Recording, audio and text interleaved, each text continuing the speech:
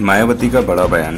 भाजपा सरकार में बड़ी गरीबी, बेरोजगारी। सपा सुप्रीमो मायावती ने मंगलवार को कहा कि केंद्र में भाजपा सरकार आने के बाद से देश में गरीबी और बेरोजगारी बढ़ी है। मायावती ने फरुखाबाद सीट के सपा बसपा गठबंधन प्रत्याशी मनोज अग्रवाल के समर्थन में चुनावी सभा का संबोधन करते हुए कहा कि केंद्र की भाजपा सरकार ने बिना तैयारी के नोटबंदी व जीएसटी लागू किया।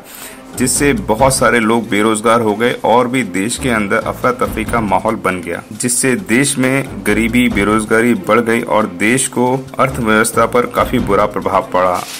उन्होंने कहा कि कांग्रेस सरकार के समय में बफोर्स था और अब भाजपा सरकार में राफेल चर्चा में है। उन्होंने कहा कि भाजपा किसानों की छह हज़ार रूपए दे रही है। क्या इससे किसान की गरीबी दूर होगी? कांग्रेस पर हमला बोलते हुए मायावती ने कहा कि जब से देश में अंग्रेज़ गए हैं, तभी से कांग्रेस देश पर राज कर रही है। कांग्रेस अगर अच्छा काम किया होता तो हमें बहुजन समाज पार्टी नहीं बनानी पड़ती। आज जो बहुजन समाज पार्टी गठबंधन है, उससे भी बीजेपी कांग्रेस को दोनों को परेशानियाँ हो रही हैं कि गठबंधन क्या हुआ है। लेकिन गठबंधन को इन दोनों का असर नहीं पड़ रहा है और मज़बूत होकर गठबंधन निकल के आ रहा है और लोगों का समर्थन इतना प्यार मिल रहा है, बहुजन समाज और सपा बसपा को ढेर सारा प्यार गठबंधन के अंदर मिल रहा है।